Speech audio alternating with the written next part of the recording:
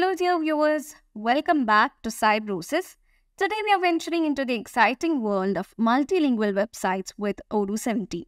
Have you ever dreamt of reaching a wider audience with your website but felt limited by language barriers? Well, fret no more. Odoo 17 empowers you to break down those barriers and showcase your business to the world, one language at a time. This video is all about multi-languages and language translation in the website module of Odoo 17.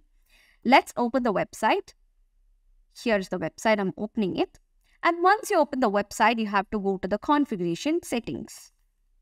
So here in the configuration settings, you can see an option which is called languages and also an option where you can set the default languages.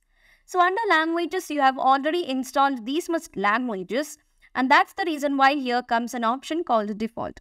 Out of all the installed languages, one among them can be chosen as the default language. Now, if you want to add a language which is not there in the languages you've chosen, you have the option to install the languages. So simply click on install languages there. And from here, you can see the drop down and out of the drop down, you can choose any of the language which you desire. Okay. So if I'm choosing Spanish means once the language is selected, you can choose the website to translate. So I'm choosing both and click on add. So what happens is that the website has been installed. Okay, the installation process is taking place. And once the website is installed, you can add them to the languages of your website. So it's loading. Let's wait for it to get completed. Once the installation is completed, Odoo will be asking or Odoo will be simply telling us that installation successful. And if you want to switch to Spanish completely, that is, if you click on switch to Spanish and close, what happens is that the whole interface text will change to Spanish. If you simply click on close means the language will be installed, but the interface language will remain the same. So I'm clicking on close. That's how you add or install more languages and then set a default language. Okay. So once it's done, you can go to the website here. Okay. So currently website, I've already chosen a different language. So here underneath, you can see different languages which we have created. Now I'm putting back to English. Okay. So you can see the website is in English. Now here also you have the option to add the languages. So these are the languages which we have added in the languages section of the configuration settings.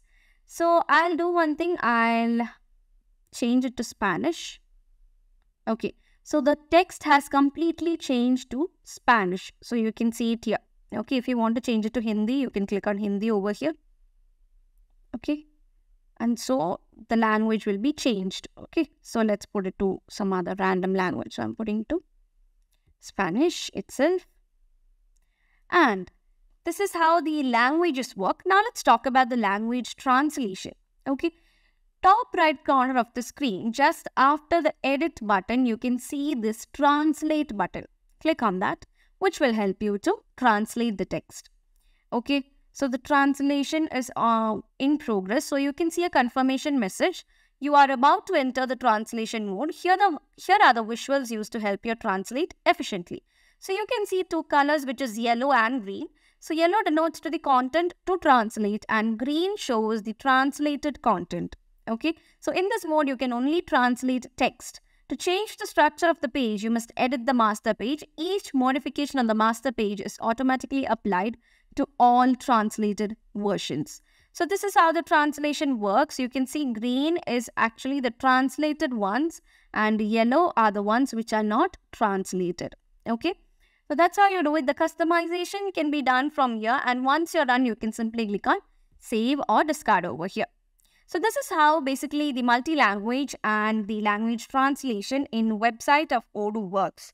So it's that simple. It's very easy to manage the languages as well as the translation. So here on, under the website that is from the front end as well as the back end, you can manage what the language. Okay, multiple languages can be installed. They can be set as a default language and so much more can be done using the website module. Now, we have already seen how the translation works. Okay. So, that's it. So, don't let language barriers hold you back. Okay. By leveraging Odoo 17's multi-language website functionalities, you can expand your reach, attract new customers and take your online business to the global stage. So thanks for joining us today. If you found this video helpful, be sure to leave a like and subscribe for more Odoo tutorials. Remember, the world is your oyster when it comes to reaching customers with Odoo 17. So translate your website, bring down those language barriers, and watch your business flourish internationally. Thank you.